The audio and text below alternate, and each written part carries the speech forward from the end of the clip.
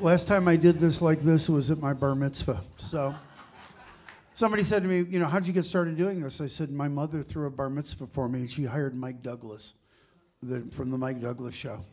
And he uh, emceed my bar mitzvah for 50 bucks because he'd never been to a Jewish party before. Nice Irish Catholic boy from Chicago.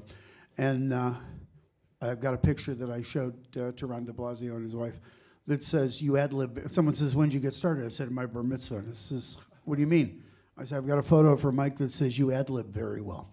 So when Mitch and I talked about this, I thought this was really cool. Uh, I'm going to try and keep this on time. I was telling him stories that he said, okay, that's good, that's good, that's good.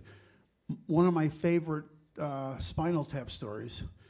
Uh, I saw the movie in '84, and I walked into Mo's office. I saw it on a Sunday night, and I went into Mo Ostin's office on a Monday morning. The movie had just come out that weekend, and I said, I have to leave. And he said, Why? I said, I just watched my whole life last night. I was with, I was with Tony, Le- Tony Levin and Robert Fripp from King Crimson. Said, let's go to the Beverly Center and see this new movie, Spinal Tap. I'd already had lived Spinal Tap. I had worked for a guy named Bob Regehr, who Bob Merlis, who's here. We all worked with Regehr, who was amazing, and he would send us out on missions. Uh, but before I did artist development, uh, I did local promotion for Warner and Elektra out of Cincinnati but I had a bad habit of running away with the band, so they eventually moved me into artist development. But before that happened, uh, David Geffen had taken over Elektra Asylum. They had signed a new band called the Capitol City Rockets. Has anyone ever heard of the Capitol City Rockets? No. Elektra. Who was the lead singer? Does anyone know who the lead singer of the Capitol City Rockets was? For what? No for and and not not, not Matisyahu, was it Matisyahu? Um, anybody for a hundred dollars? No. So the lead singer of this group, the Capitol City Rockets, was a guy named Jamie Lyons. He'd been in a band called the Music Explosion. They had a song called "A Little Bit, Little Bit of Soul."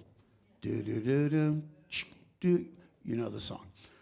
So the band's album cover was sort of like the Bay City Rollers after uh, with a uh, uh, roller derby theme, but they looked like the band. They looked like they'd been beaten to death. So the cover was them. They're black and blue. So someone had the bright idea to rent out a, a skating rink in Columbus, Ohio, at the United Skates of America. And the idea was that we would all fly in from all over the country. I think they spent about 150,000, believe it or not, on this party and we would skate for a while. And then at the end of uh, one of the uh, ends of the roller rink, there was a bandstand set up, and the band would play, and this would be their big debut. But you have to keep it really, really mysterious because you know this is rock and roll, and we don't want the band to be too accessible. So they were told to stay away until nine o'clock when they were going to play. So they stayed away till nine, nine fifteen, nine thirty.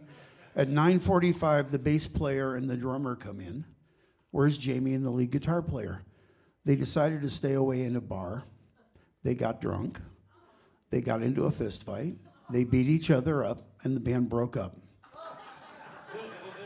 and we all kept skating. And that was the debut party for the Capitol City Rockets, which album never came out. Thank you.